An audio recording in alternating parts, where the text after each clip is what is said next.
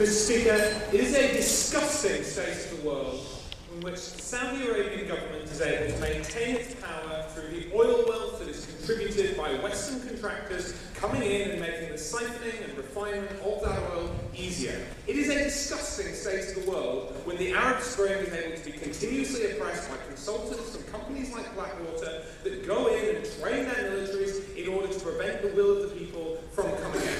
What we're going to bring you from Open Government case that states that those individuals owe a moral duty to prevent the proper functioning of that repression and that lack of accountability. What I'm going to bring you are three things. First of all, why we think that individuals, and particularly Western consultants, owe duties to other people, and particularly people in these nations.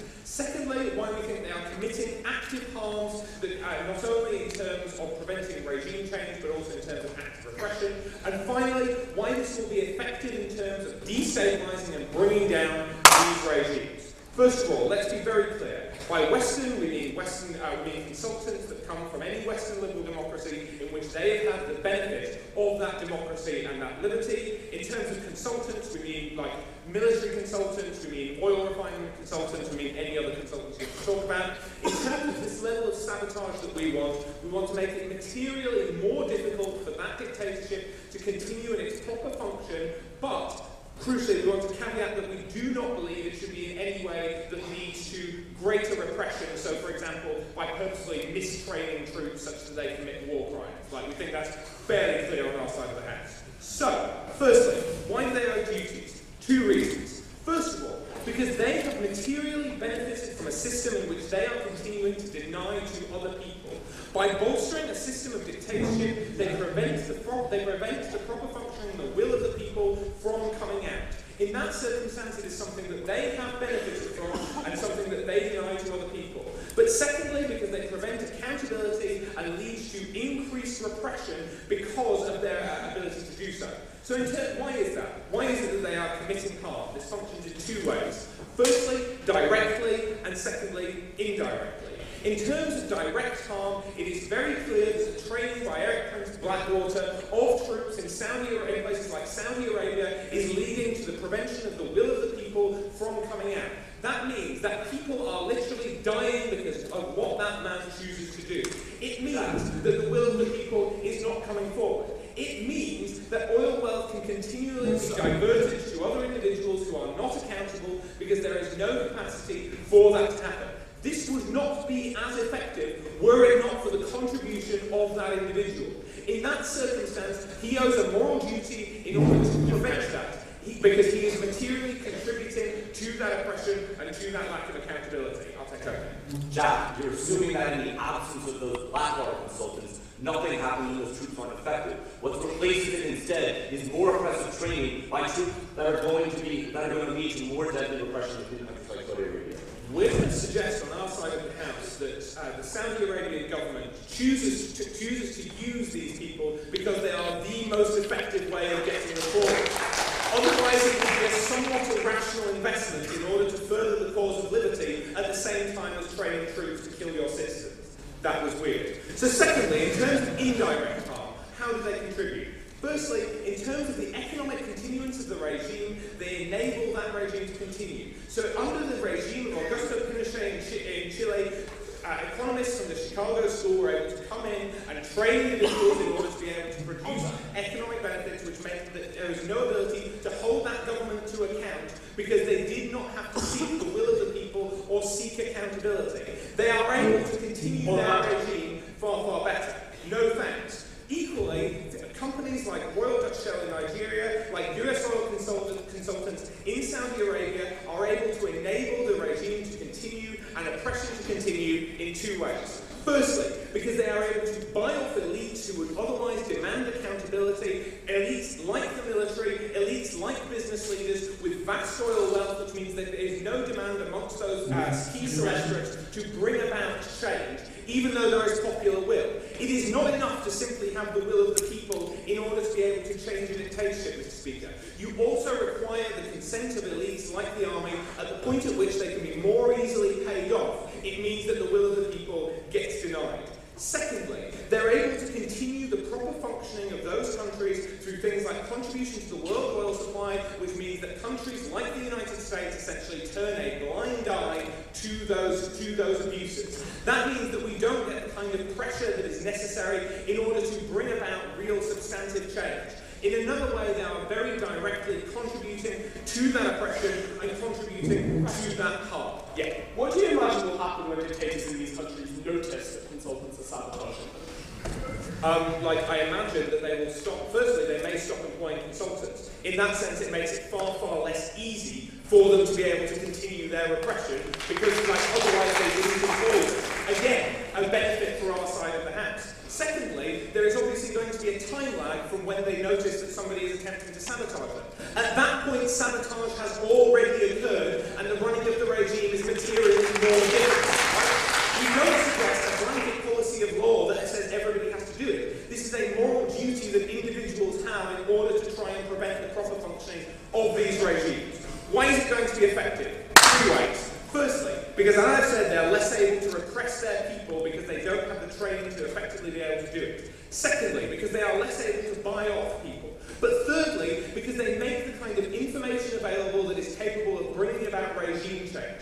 They are able to reveal the information to the public that is currently concealed from them by making it public. So when people go to organizations like WikiLeaks to reveal what the Chinese government are doing, that makes it far, far harder for that government to conceal things. It makes it far harder for individuals to go unaware of what is going on. But what's more, it wakes individuals who are currently, mutter, uh, currently muttering along in the status quo from moral carelessness, right? It means that they see the kinds of abuses that their governments are, are carrying out when their governments haven't expressed that to them.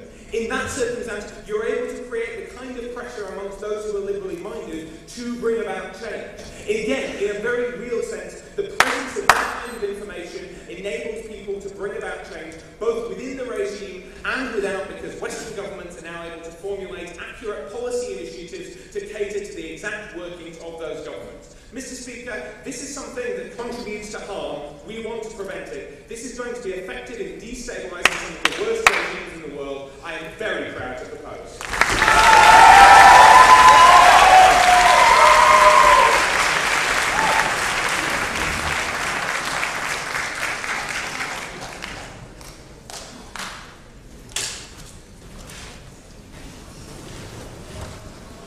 I'd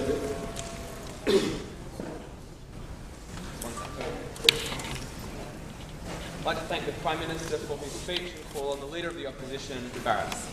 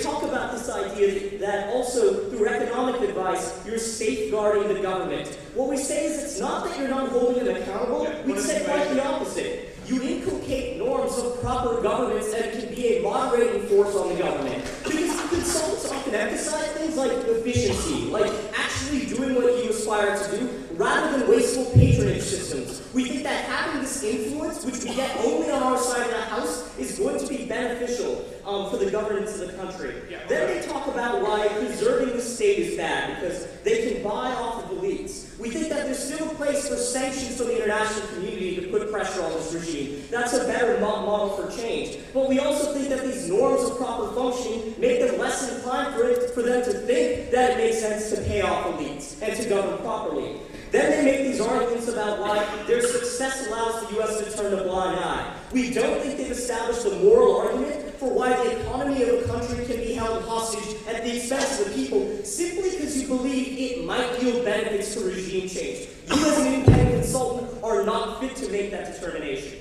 They give you a list of reasons for why this is going to be effective. To whatever extent they can tell you that it might spur regime change, the problem is they have to sell you that the behavior of these dictators will be better absent outside forces. We don't think it means they're going to stop oppressing the people or pursue infrastructure pro- projects. They're just going to do a shit job of it. They're going to rely on, uh, on not contractors, uneducated workforce, massive safety harms. Or in the case of the military, Michael's POI was that we don't like what Blackwater does, why they may hire Blackwater is it's a more professional, properly trained, and disciplined military force. If you just have random, poorly equipped people running wild in the countryside, they can be far more dangerous than a trained Blackwater ever would be. Substantive matter.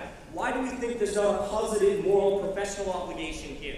First, we say when you sign a consulting or, or a law firm agreement, you don't promise to win the case. You don't promise to double profit. You don't assure that all your forecasts will be accurate because you're not in control of that. But what is damn sure enshrined in all client service is the promise of good faith efforts to preserve the interests of that client. If you eliminate that notion that good faith exists, then you violate the privity of contract that you voluntarily entered to to begin with.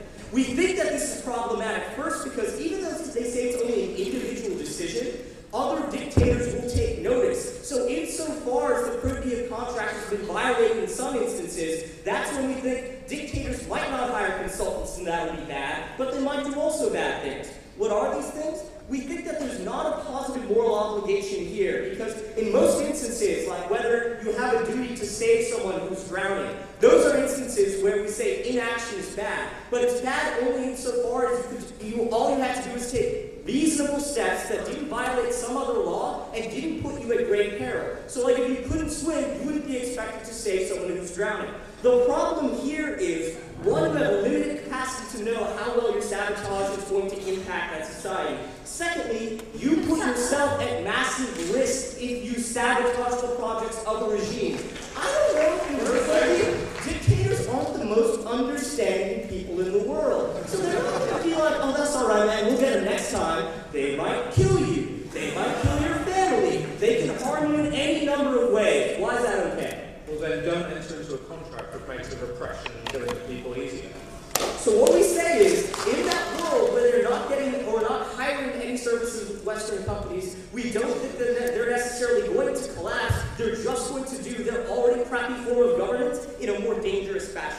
Next, I want to talk about why this is harmful for the population. We've already told you why oil extraction and infrastructure is important. It, it enhances people's lives, there's spillover effects of wealth, it employs large swaths of the population. If your advice endangers these sorts of uh, efforts and other people are harmed as a result, they didn't caveat that out in their model. We think it's morally reprehensible to say that a failure to consult adequately could give rise to more accidents in oil people within that country itself. We also think that it's important to be able to seek Western consultation because if you didn't do that, it's not that what these countries would be more beholden to is outside countries running their business within these borders, plundering them of their material mineral wealth, and taking all of that value outside of the country abroad. Are functionally defending their country from plundering multinational corporations who are not going to derive or not going to provide any value to the population at large. And finally, as we've already laid out, interacting with people that get you to think about efficiency makes dictators less isolated and more moderate in the long run because they have more exposure to the international community, more exposure to businesses. We don't like dictators, but misleading and then changing stream midtrip violates your duty as a professional, and it's not fair to use these people as hostages. We're proud to oppose.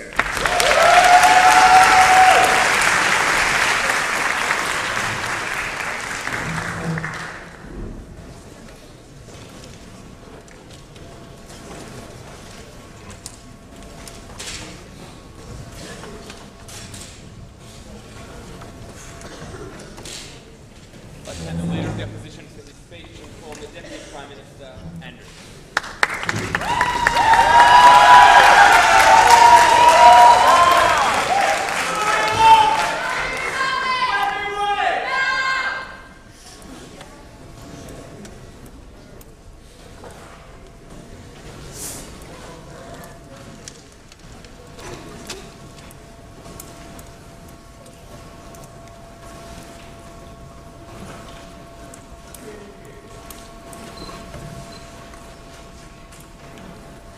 So the point I got annoyed with the leader of the opposition is when he said, look, if you've got an individual problem with dictators, then don't contract with them. But that's your view, right? I don't think the subjugation of the people in Saudi Arabia is up for debate here as a legitimate lifestyle choice for running a government. At the point where you are making it easier for those people to oppress women, at the point you are making it easier for the people in Uganda to not give any of the money of their uh, education budget and instead buy themselves nice swimming pools and expensive cars. You're making it easier to destroy the lives of people who have just been unlucky enough to born in a country that he wasn't. That's why you have a moral duty, because you are complicit in acts of atrocity that are illegitimate. It is not a personal stance. What do I want to talk about today? Firstly, we're going to look at the moral duties that was talked about by Jack and completely ignored by opposition, and also introduce the idea of why is the illegitimate state structure, and also why the capitalist activity here that he thinks, okay, I have the freedom to make a profit, has been absolved here. But then I also want to look at the actual good that can be done. Now, firstly, engage with his two eyes idea of, you know, consultants do wonderful work there, even when they are, you know, training people to shoot people. And then also look at the idea of information, of being the best source to sabotage the atrocities that these people commit. So first let's look at the, uh, the moral stance here. So firstly, people are always born into a state, right, wherever you happen to be, and that state has amazing power over you. That's why we tend to think democracy is a good thing, because you can control the policies that are happening to you. People in these countries cannot do that. And to the point where you get someone coming in, controlling those state structures, making it easier to not know what you are owed by the state, what money and resources it has to put in your behaviour. It makes it easier for those people to believe the lies they are told. Like, say, Mugabe, when he stands and goes, all the problems that we face here in Zimbabwe are the fault of British colonialism 60 years ago. That is a lie and would be easier to break down if they had the information that comes from the sources that these companies have but refuse to give over. Secondly, then, let's look at moral duties. Now, what we got from Jack were two instances, right?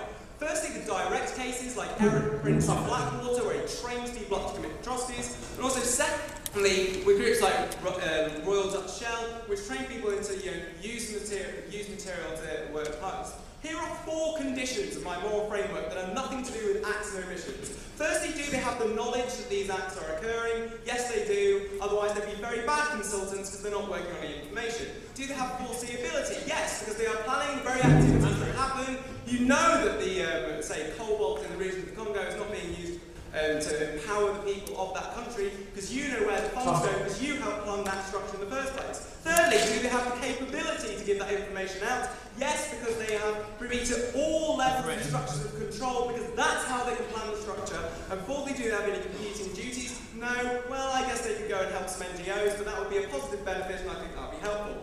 Secondly, then, on the capitalist structure, right, capitalism and freedom to make profit is not some absolute good. The reason we do it is there are resources in the world, people in the world, and you get better outcomes when you incentivize people to innovate and produce more. At the point where you are innovating and producing more highly trained soldiers to suppress people, we think that's probably a poor idea, and the function for the uh, capitalist incentives has been cut. I'll take hoping. Providing humanitarian aid lessens um, the pressure on changing regime change. Are you against foreign aid on your side of the house? Well, I mean, I'm, I'm in favour of not making reductive generalised statements about aid and targeting it where useful and not using it where it can be, you know, used by a regime in the same way that using natural be used to suppress its own people. Um, that's just not the case of humanitarian aid. Yes, it should be used effectively, poorly. So, what did we hear on the efficacy of this from?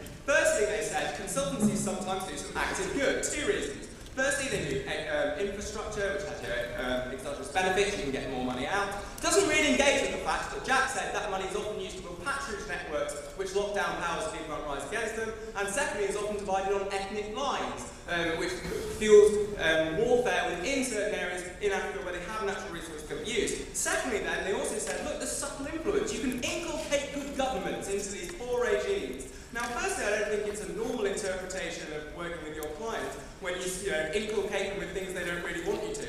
If McKinsey went in to influence Kmart to be you know, nicer to its workers, I think Kmart would be quite upset. At the point where he says, let's inculcate them, I think he's completely fine with us sabotaging what they actually want to achieve by bringing good companies where hold these ministers to account for the things that they owe them. That probably just means he wants to join prop which to be fair to him, I would too.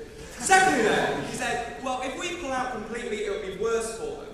Um, well, firstly, that ignores all the things that Jack said, right? That, you know, at the point they'll be less effective at doing this. That means they'll be less effective at expressing their people and keeping resources of them away from them. Secondly, there's a time lag, so there'll be a benefit while they're still there. Thirdly, you can be more subtle than that. You can just use the intelligence. So intelligence services don't tend to give away know, domestic state secrets. They use them in effective ways so they can still continue in the future. I think it'd be quite daft to just say, hey, we're sabotaging you, you should get rid of this tomorrow. There are more effective ways you can do that. Fourthly, um, it's necessary for me that um, they always, um, they wouldn't be cut off from having information because consultants aren't able to do the job without knowing who's in charge, what the resources are, and where they get allocated to, so you have them in the first place. Second, then note that even if he's right, right, that these people leave and the state becomes less good, that a lot of their legitimacy in the nation comes from being effective. Pinochet in the 1970s could go to his group, the minority that kept him in control, and go, I am doing wonders for you and bringing you prosperity. At the point where they can't do that anymore, they are undermined as a power and easier to attack. Why is information good, in a sense? In Uganda, 80% of the budget was siphoned off. All the Minister for Education did when she came in was give posters to school telling them what they were owed. That single act meant that instead of 80% being siphoned, 80% of the budget arrived in schools. That was because people themselves knew what they were entitled to and knew who was meant to give it to them. Consultants are in the best place possible to leak that information without even being found out. Why? Because ask any first year consultant, most of what they do is look at HR flow diagrams of who's in control and in control of what. All they have to do is leak that away and people can empower themselves to access. Why is that particularly important? Because what they do is stop the ability to build up patron things that shut down opposition. These dictators breed on fear and power built on influence, and these companies make it easier to do this. You break them down by taking away patronage networks and empowering people with information of what they're owed. I couldn't be prouder to stand in proposition.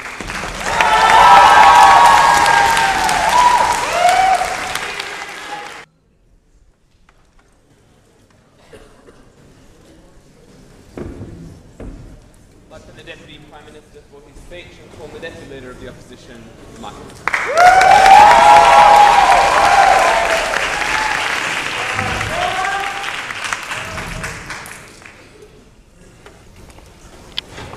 I think it's telling that the entirety of opening opposite of opening government seems to assume that creating instability within these regimes and within these dictatorships is automatically a good thing. And that just and that when you take a dictator, make him more who he can trust, make him not rely on dependable infrastructure and economic activity, that that will lead automatically to the type of liberalization that we all, as Western liberal citizens, may want to see in these regimes. At the point where they just assert that these good benefits come from instability, I think they failed in their burden to show that your sabotage will necessarily lead to better moral outcomes. What I'm going to do in my speech and substantive today is talk a little bit about why we think that might not actually happen. But first, I want to do a little bit of rebuttal. Starting off with the issue of morality and the moral stance we're taking here. The first broad thing to say is lots of things help dictators stay in power. Dictators, people being happy, helps them stay in power. People are happy when they are fed, when they have health care, when they have roads and schools, and all other things that, while tough and won't defend all foreign aid, that seems to be the best and most lovely examples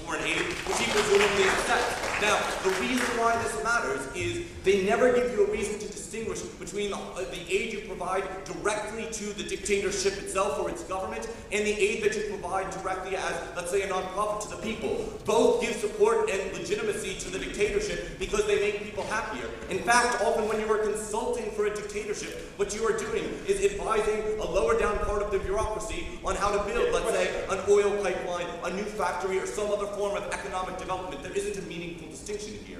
But here's the other reason why I think they fail on the moral obligation argument. They ignored the two key caveats that Ferris gives you about when individuals don't have moral obligation. The first is when you can't assess with certainty what the effect of your uh, the effect of your action is going to be. All they give you, if you believe their four-part asserted framework for when you have a moral obligation, is that you can foresee what will happen in the dictatorship and that you have the capability to have an influence on it. First, you never know that your sabotage is actually going to be effective, right? You don't know that the information will get out. You don't know that it will be discovered. You don't know that it'll have any sort of lasting effect. But much more importantly, even if you know it has an effect in the short term, you have no way of knowing whether it'll have long-term positive effects. The really good analysis that Ferris gives you that built on my maybe poorly worded POI uh, was the notion about contractors and Erik Prince. Now, I don't like that the Saudi Arabian military has is effective at repressing its people. I like, however, that it is probably trained to do so without needing to kill them.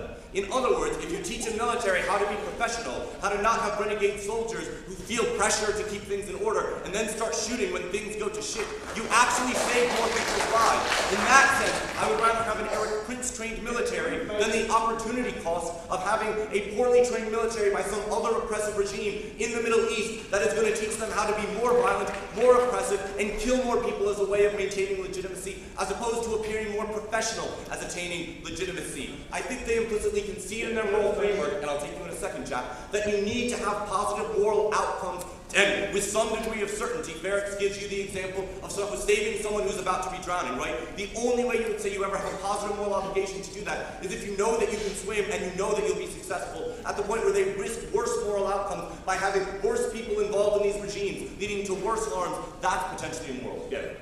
When black Blackwater engaged with the Saudi military, because they are explicitly trying to prevent regime change and prevent the Arab Spring. Yep. They know that if they're there, it is more effective to prevent Right, right. They're, they're trying to prevent regime change. Guess what? The Saudi government, after Blackwater, wants to prevent regime change. What will it do? Turn to another form of person who's going to teach their military or come up with some racket to teach their military how to be effective at stopping people from revolting. What people who aren't Blackwater know how to do in order to stop people from revolting? Shooting them. That's why you see pressure, mass killing of demonstrators in Syria and other countries in the Middle East.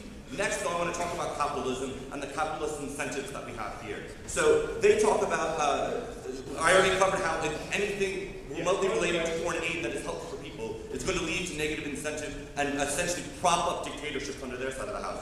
But when, they, when we talk to them about inculcating standards of good government, they say, oh, well, it's not, we, it's immoral on our framework for consultants to violate the will and undermine the will of, uh, of the company, of the countries with whom they're working by, let's say, encouraging them to liberalize. We actually think the interests are quite well aligned here, right? A repressive Saudi Arabia and a free Saudi Arabia still has an interest in having oil pipelines. An oppressive Saudi Arabia and a free Saudi Arabia still has an interest in roads, schools, and other benefits to its people. At the point where consultants tell you how to do all of those things better, then when you eventually end up with freer states, however long it takes in the long run, they are better able to take care of their people on our side of the house. Finally, they talk about this kind of indirect harm and issues with, you know, supporting Pinochet in um, issues with supporting Pinochet in Chile, and also with uh, this ridiculous example of posting uh, in Uganda about the actual money that schools are owed. I think what this highlights is the significant risk that you're, that you're taking on here. They never really engage with Ferris's analysis about the risk that you would expose yourself to. And this is the last and most important of the moral points, right? You don't have a moral obligation to put yourself, your family, your life at risk. Yes, you may be good at hiding from these governments, but guess what these governments are really good at doing? Finding out people who have betrayed them and enacting revenge against them, whether it's against you, your company, or others. You can't have a personal moral obligation to take on that risk. No, thank you.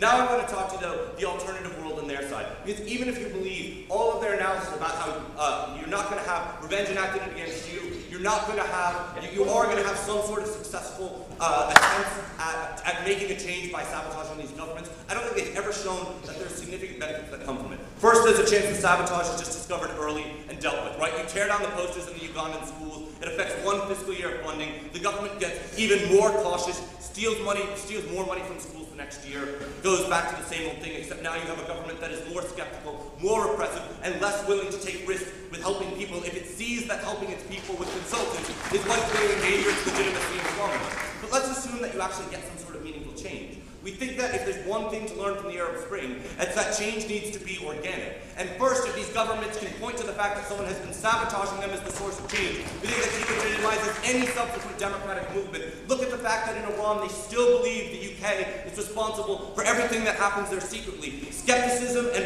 and uh, fear of outside influence is pervasive in these repressive countries, and it can last for years. You weaken the ability of any democratic movement to get started, to make a meaningful long-term change by associating that democratic movement with renegade Western consultants that have said they're in a better position than the populace themselves to know how to bring about change and how to ultimately undermine this government. It's bad economics, it's bad on an individual level, and ultimately it's worst off for these societies we beg to oppose.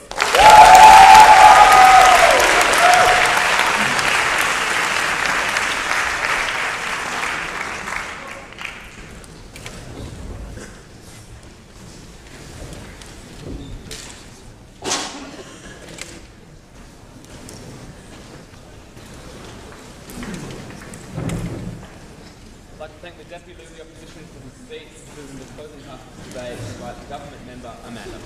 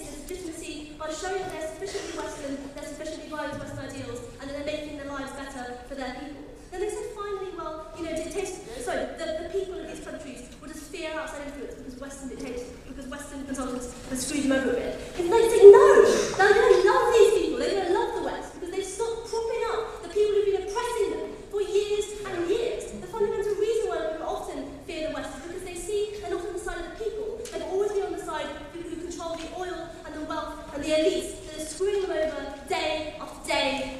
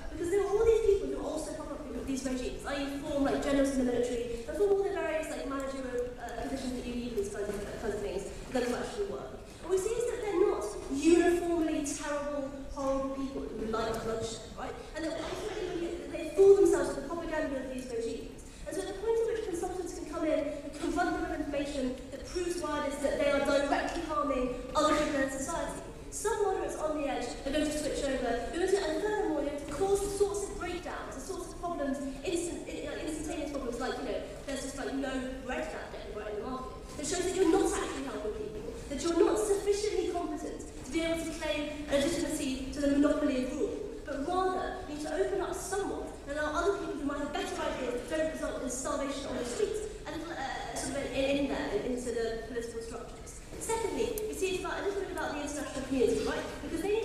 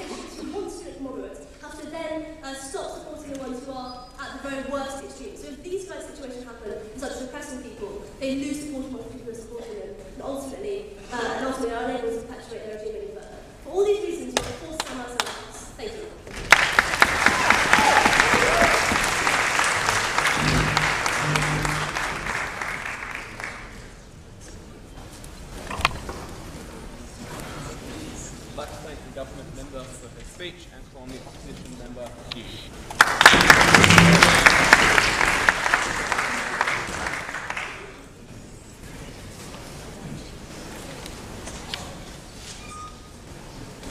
Okay, Mr. Speaker.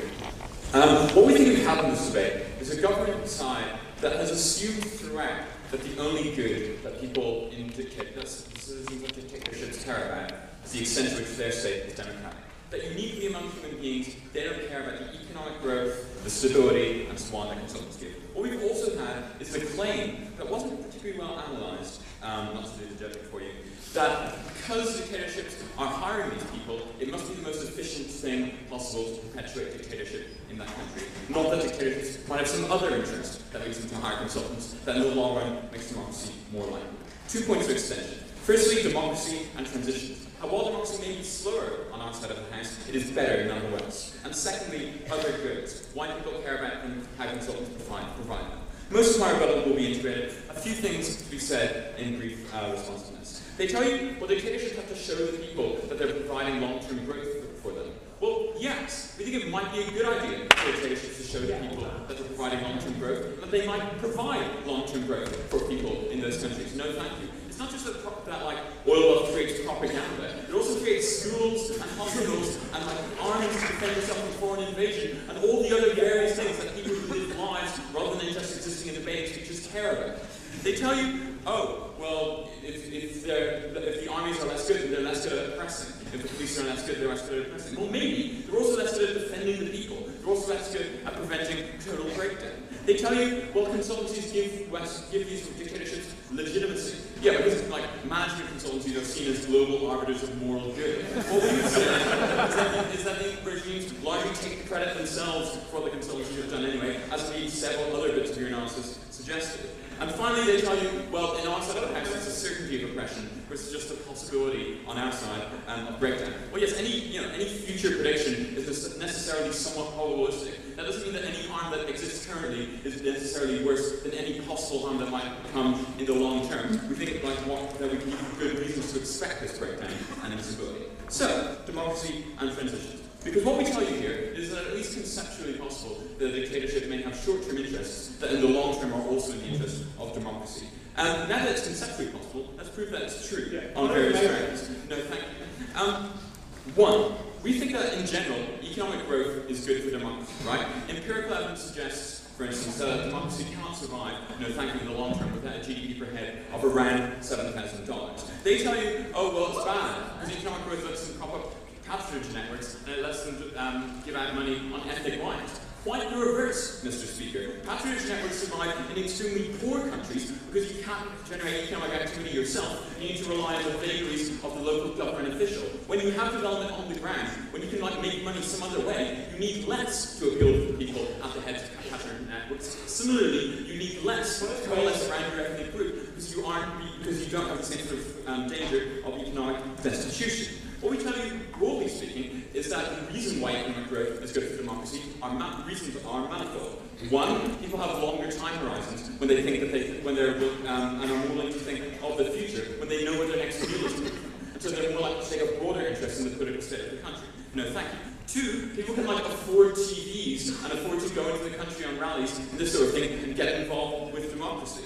Um, what we tell you, secondly, in terms of why the, the activities of management consultants to increase oil wealth or whatever it is might be good for long-term democratization and transitions, is that the development of stable institutions is extremely important to whatever government takes the place of the dictatorship in the long run, in, in a, a democratic one if it comes. Why is this? Uh, no, thank you. It's because, very simply, if you want, in a situation of transition between one regime to another, if you want people to have to buy into the new state, it needs to be able to provide for people. And in particular, it needs to be able to provide basic goods like stability that need to happen in order for an, in order for an election to take place, right? So we look, for example, to the poor state of the Kenyan, um, of the Kenyan armed forces in 2007, which saw militias um, divide against each other uh, in those elections, led to wide-scale um, destruction and the fatal undermining of that democracy. We think that's a problem. Insofar as the police forces can be made more efficient and, work, and made to work better by management consultants or whatever kind of consultants, we think that's useful if a democratic transition takes place. In their world, the worse they are, the more likely it is that they get breakdown. No. Thirdly, what we tell you is that in general, having a stable um, country is important to like the, the success of, of uh, democracy or of people in, in general. Look, for example, to Liberia, where um, after the uh, know, absence of executive outcomes, admittedly not very nice company, um, we saw wide-scale civil war between various factions. We aren't sure that the cause of democracy or people coming together or whatever was was was by that. This is why. The point is when dictatorships are able to deliver economic benefits to their elites, they're able to use that as a smokescreen to repress other people, and that's what leads to human rights. So it's not why democracy needs stability. Guys, I don't know now. It's not why democracies need stability. Rather, it's why democracies need to be coming into place in situations where the state is already stable, and in particular where the institutions are already well grounded. Because otherwise they can't get by in that transition.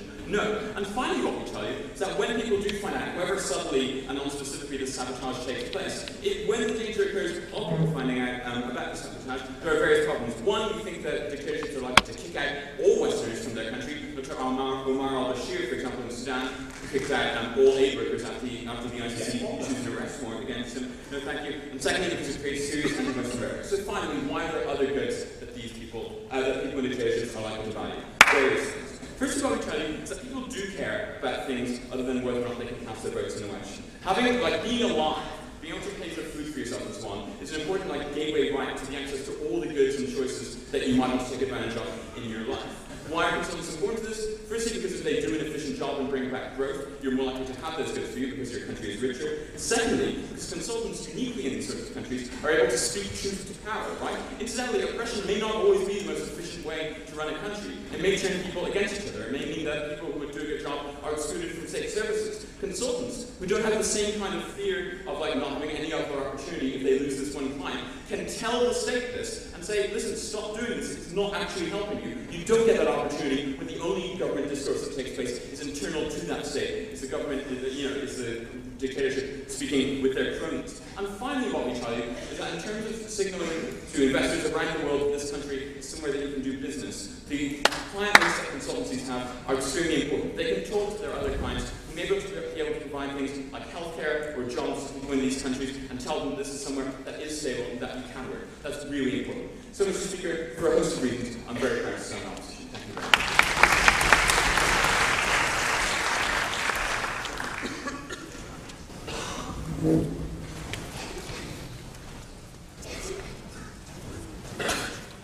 Speech and call on the government whip imagery.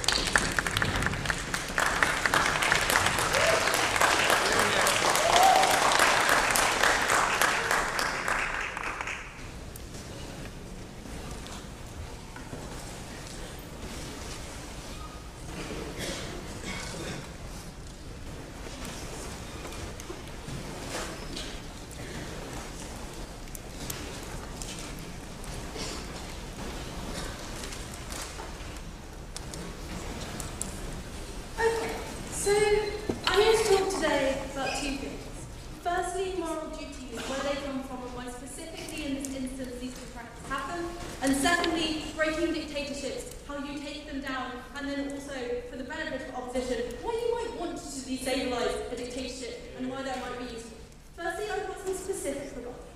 So, he starts off and says like democracy comes through economic success. So it comes through like having things like being able to afford the internet, television. It comes through things like having infrastructure so you can move about the country. Like we think that like this is just like patently untrue. So we think that like firstly, economic success means that like you have this well-trained oppressive army specifically to stop you using all of the things like the internet, using all of the things um like you know the, those roads to form protests. Like they can just gun you down. So we see like um like even though the internet does exist in China, there are specific restrictions which stop you using that kind of thing. So despite the fact that you can buy it, like you still can't use it for things that might be useful. And we think that that is true necessarily because like because these dictatorships are necessarily centered around oppression. Like in order for a dictatorship to work or be useful, like you need specifically not to be able to rise against it. We think even if there's economic success, given that that's the primary concern of said dictatorship, like you are never going to be able to be free within this model. Um, uh, uh, so, so like, um, like we think, we think that this means um, that like even though it would be nice uh, for, for everything they said to be true, it's just patently not. What we need is revolution in order to overthrow democracies, we think this helps um, in, in, in like ways I don't know. Firstly, I want to talk then about moral duties. Um, so we think that like we've heard three things from opposition. So firstly, like you only have moral duties when um, when like things are knowable, so when the consequences are knowable. You've heard that we only have moral duties um, like um, and that, that like what- that that an individual can't have moral duties over a country, and thirdly, like you don't have a duty where it harms yourself. Um, but firstly, you do. Yeah, the point is that stable development is a necessary condition of democracy. It's not necessarily sufficient, but how do you get it through destabilization? So, like, obviously, I'm going to come on to that later. Flag is one of my points. Um, but if you want to talk about this now, like, we think that we think like because of everything I've said, it's the only way like this condition can come about. So, because this condition can never come about under your model, so like it, has to come about under our model.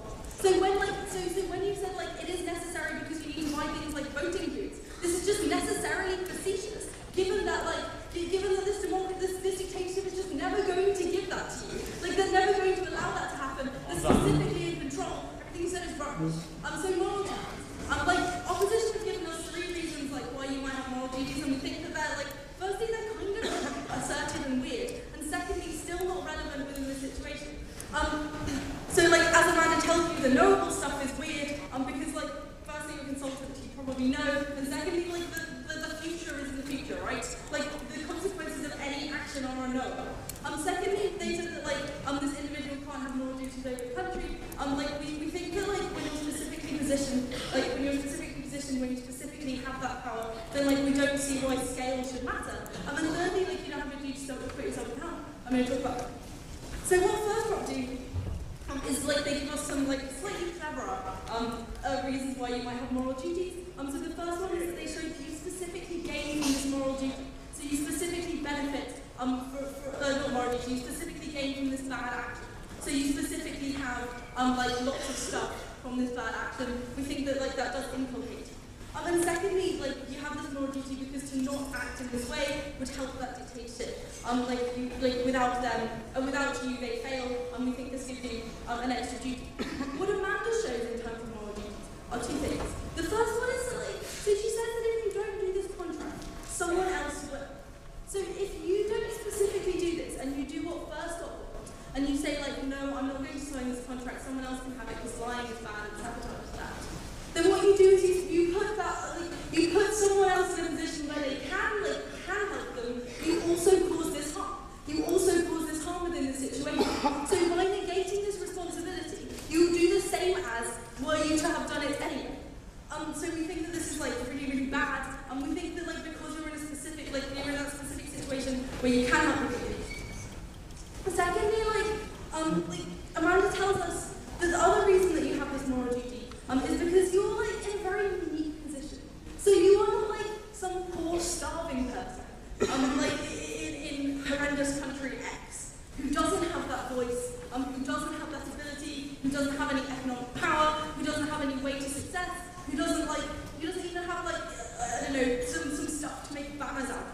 We think that because you're like, because because this person in this country not only does not have all of those things that you might affect him, but also is specifically at risk. So if you are a person living in Saudi and you stand up and, and, and you protest, we think that you're specifically in harm's way. So we think that when you're a contractor, you're not in harm's way. Like you're free from uh, free from all of the threats, you're free from all of the danger that could come. We think that because you have the power to make such change, free from all of that danger, um, then, then you're in a unique position, and that, that also like gives you more of a duty. No, thank you. So breaking dictatorships. So as Amanda tells you, dictators are shrouded in, her. What we do, um, uh, aside from all of the lovely things that First Talk tell us, um, is that we like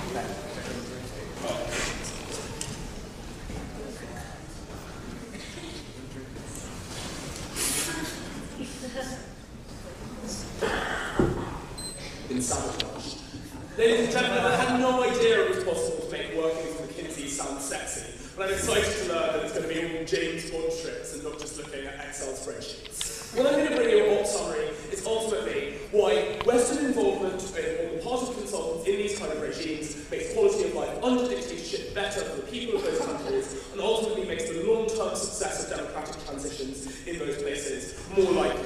Three things in summary. Firstly, the kind of nature of moral duties, reasonable burdens, and so on. That's going to be kind of a prelude to what uh, we're going to consider the meat of this debate, which is firstly, does the involvement of consultants uh, ultimately improve quality of life under these dictatorships? And secondly, does it improve the likelihood of transitions and of the long-term success of those transitions, explaining why revolution is not necessarily a sufficient condition to ultimately get the behind the democracies that God are seeking. So, let's talk a little bit about the nature of moral duties. Now, the question opening half kind of, well, these people have benefited, they will have certain kinds of duties. What opening up will help you is that where the benefits are, are at least very uncertain, and in fact there might be considerable harms, it may not be a good idea because ultimately it does lead to positive consequences in those kind of environments, especially whether you are imposing a considerable and potentially unreasonable burden on yourself in terms of things like risk to your own. We think at best that might put risk aversity in this kind of sabotage, but moreover, the question for this debate then becomes, if people do this, is it ultimately likely to be successful? That's why I kind of call this argument a prelude, right? We think it's been the case of the opposition all the way down, but ultimately this will be unsuccessful,